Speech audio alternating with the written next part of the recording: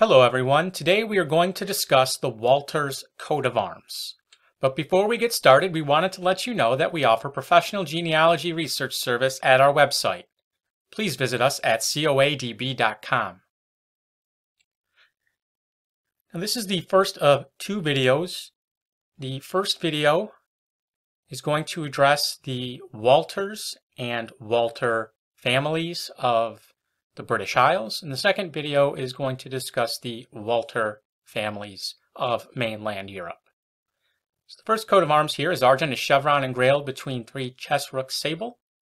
This was the coat of arms of Robert Walters, Esquire, born 1651 of Cundall in County Yorkshire, son of Robert Walters or Waters, and grandson of William Walters of the same place.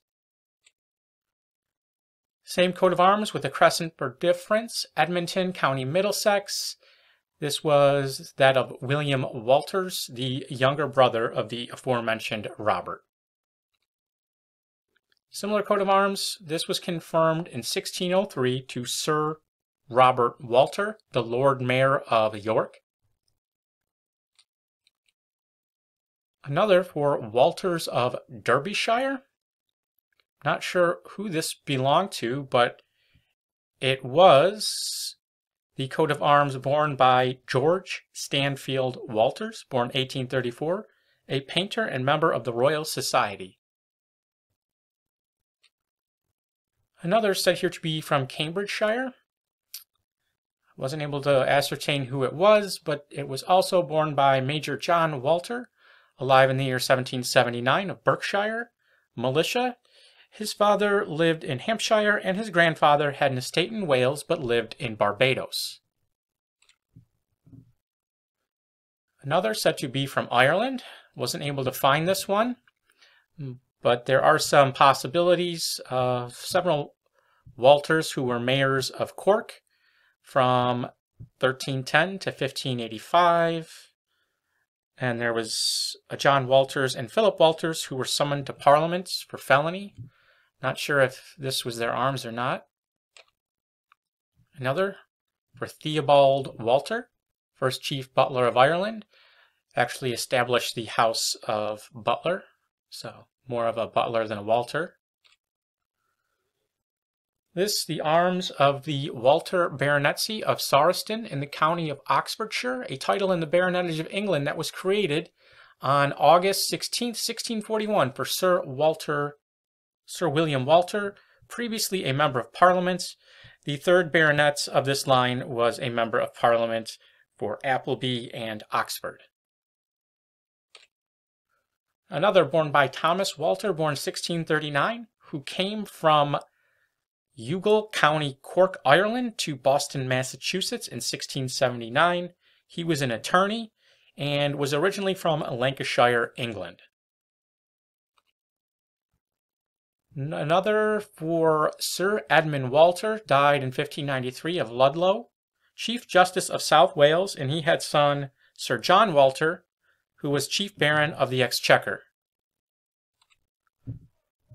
Another from County Kent, granted in the year 1613. One from Warwickshire.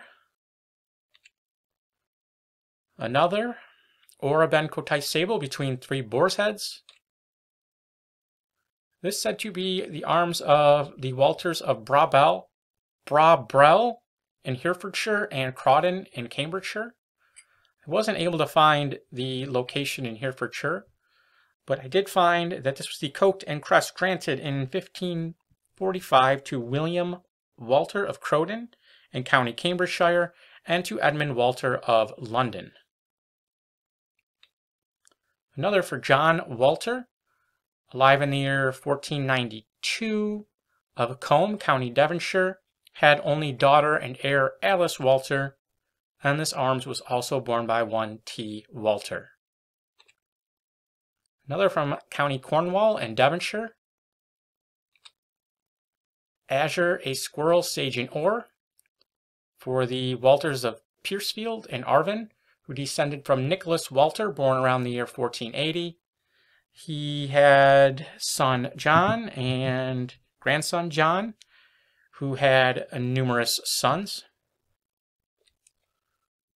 Another for Walter of Ashbury. Henry Walter died in the year 1641 of Ashbury in Devonshire, was son of William Walter Esquire and grandson of John Walter of Broxbourne.